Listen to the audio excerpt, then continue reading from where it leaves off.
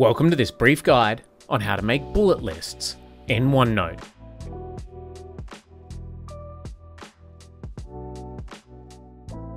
If you've ever wanted to create a bulleted list in OneNote, you'll know that it can take a little bit of clicking around and menus and items. Today I'm going to show you some keyboard shortcuts to help make that easier than ever.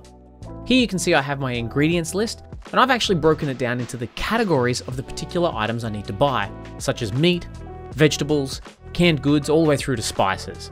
If I wanted to make this a bulleted list in the regular way, what I would need to do is highlight all of the items in my list and head to the Home tab of my ribbon, and about halfway along, I have my options to create a bulleted list.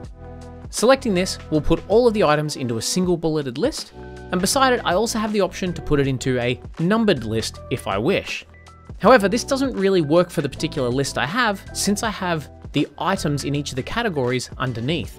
So if I wanted to indent those, I would then need to highlight them and then also select the indent option in the menu system. I would then need to do this for all of the different categories, which means lots of moving my mouse around, lots of multiple clicks and things like that. So there's a much easier way to do this. So what I'll do first is I'm just gonna undo the stuff that I've currently done. And once I've highlighted all of the items, I can use control plus the period key to automatically make myself a bulleted list, or I can use control plus forward slash to turn it into a numbered list.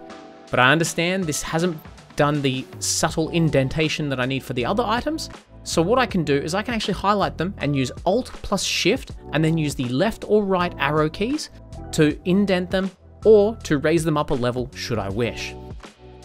What you can also do is actually do extra indentation so you can have multiple levels to your bulleted list should you wish.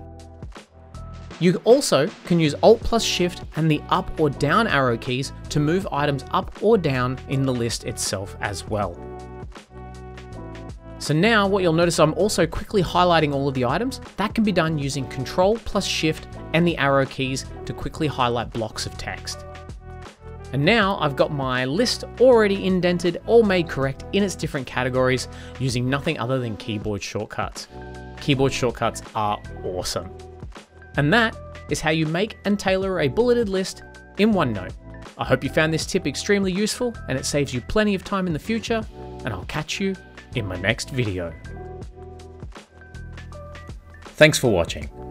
If you'd like to see more content like this, be sure to check out the channel, and if you like what you see, don't forget to hit that subscribe button.